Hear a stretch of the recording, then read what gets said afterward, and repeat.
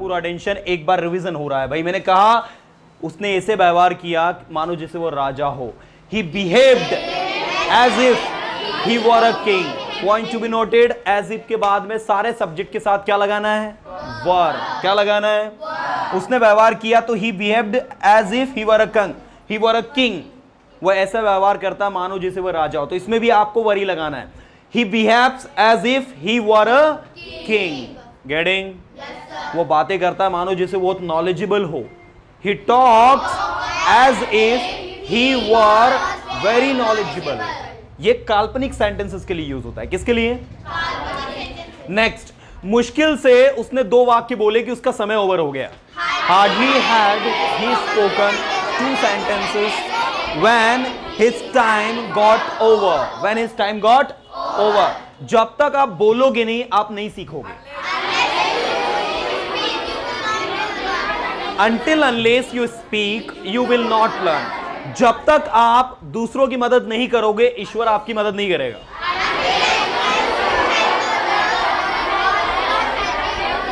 Until unless you help others God will not help you आ रही बात समझ में? नेक्स्ट यदि आप सुनोगे तो आपको समझ में आएगा। If you listen you will understand आ रही बात समझ में? नेक्स्ट यद्यपि वो मेरा दोस्त है, लेकिन वो मेरी मदद नहीं करता है। Though he is my friend yet he doesn't help me no sooner उसने मुश्किल सॉरी इसने दो सेंटेंस बोले ही नहीं थे कि टाइम ओवर हो गया। No sooner did he speak two sentences then the time got over याद रखने वाली बात नो no सुनर के साथ देन ऑल दो के साथ याट और हार्डली हेड के साथ याद रखोगे? पक्का पक्का? चलो, आगे ले चलता हूँ। रवि भी उतना ही ऊँचा है जितना कि Kishan. Ravi is as tall as Kishan. इसका कॉन्सेप्ट क्या है कि बोले, सर, इसके बीच में एडजेक्टिव लगता क्या लगता है? जैसे मैंने कहा, जितना लंबा उतना तो एज टॉल एज जितना महँगा उतना तो एज कॉस्टली एज जितना अच्छा उतना तो रवि भी उतना ही अच्छा है जितना कि Sohan. Ravi is as good as Sohan. Ravi is as good as Sohan. यह पेन उतना ही महँगा है जितना कि वह pen this pen is as costly as that pen और अगर नेगेटिव है, यह पेन उतना महँगा नहीं जितना कि वह पेन तो। This pen is not so costly as that pen are you getting पक्का? नेक्स्ट जब तक आप सुनोगे, आपको समझ में आएगा। As long as you listen you will understand और जब तक आप नहीं सुनोगे, आपको समझ में नहीं आएगा। Until unless you listen you will not understand as long as को नेगेटिव कर देते तो अंटिल unless में बन जाता है, याद रखना। ऐसे मैंने कहा, जहाँ तक मैं जानता हूँ, रवि ऐसा नहीं कर सकता।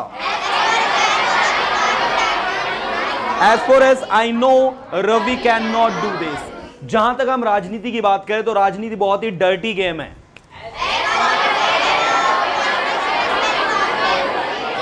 As far as politics concern it's very dirty game और as per as we talk about politics it's very dirty game मैं इंग्लिश के साथ साथ फ्रेंच भी पढ़ा सकता हूँ। I can teach French as well as English as well as English बाद में जाएगा. I can teach French as well as English next ज्यो ही वह अंदर आया, सभी खड़े हो गए. As soon as he came in, everybody stood up. As soon as he came in, everybody stood up. Next, इतना ही नहीं. अब ये भाई नेगेटिव मीनिंग में आता है. जैसे मैंने कहा ये पानी इतना गर्म है कि आप पी नहीं सकते। रवि इतना बीमार है कि वो यहाँ नहीं आ वो यहाँ नहीं सकता। ये वॉच इतनी महँगी है कि मैं नहीं खरीद सकता।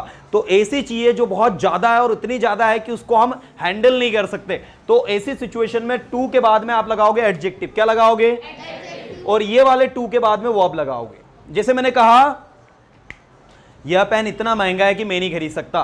So this pen is too costly to buy too costly to buy this pen is too costly to buy बस, इतनी में खत्म हो गया। मैंने कहा, चाय इतनी गर्म है कि मैं पी नहीं सकता। तो tea is too hot to take tea is too hot to take Ravi इतना बीमार है कि वो यहाँ नहीं आ सकता। Ravi is too weak to come here Ravi is too weak या too sick to come here sick या वीक दोनों लिख सकते हो। वीक है ना, कमज़ोर है और सीक मतलब बीमार है।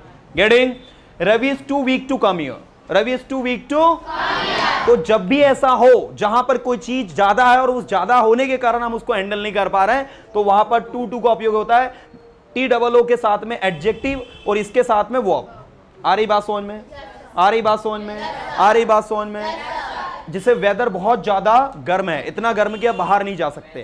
तो weather is too hot to go outside in English you would say the weather is too hot to go outside the weather is too hot to go outside मतलब वेदर इतना गर्म है कि हम बाहर are you getting everyone really okay the next we have so that अब ये कैसे बनता है ये समझने वाला है।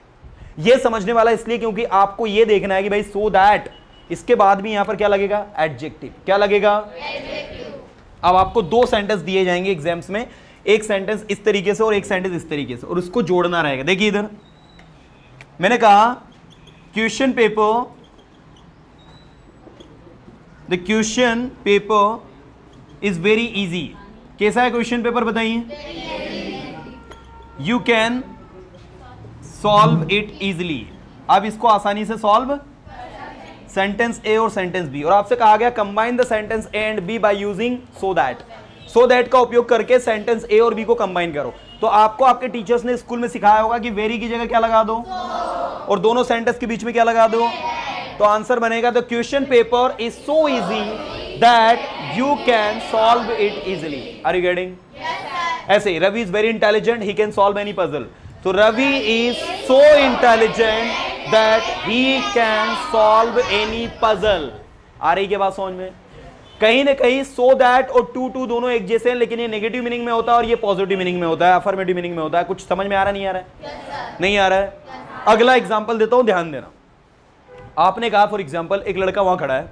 आपने कहा, वो लड़का इतना बहादुर है, इतना बोल्ड है कि वो किसी से भी बातचीत कर सकता है कॉन्फिडेंटली तो यहाँ पर मुझे बताइए, इसमें बनेगा कि ऊपर वाले में? अच्छी क्वालिटी है। So the boy is so bold so brave that he can talk with anyone confidently. The boy is so bold the boy is so brave that he can talk with anybody. They can, that, then he can, uh, that he can talk with anyone confidently. इतना कि वो किसी से भी confidently uh, बात कर सकता है।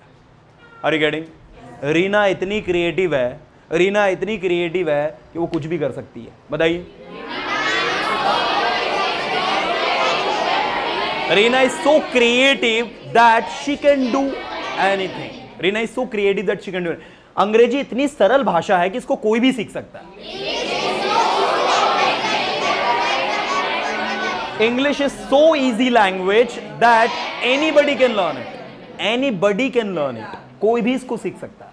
Are you getting are you getting do you think English is an easy language really याद रखना you are the student of Persona Institute and it is said that the students who are from Persona they are brilliant one. Are you? Yes, really? Yes,